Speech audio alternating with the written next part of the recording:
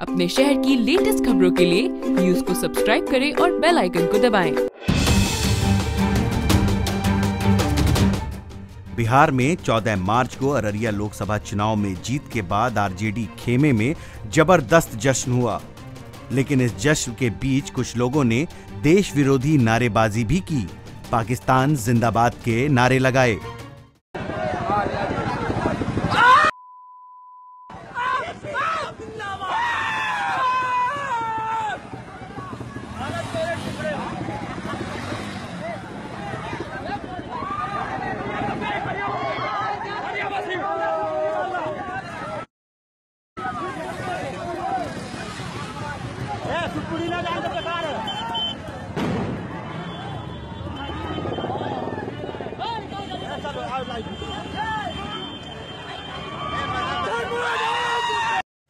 वहीं इस पूरी घटना का वीडियो सोशल मीडिया पे वायरल होने के बाद दो आरोपियों, सज्जाद और सुल्तान आजमी को पुलिस ने गिरफ़्तार कर लिया है।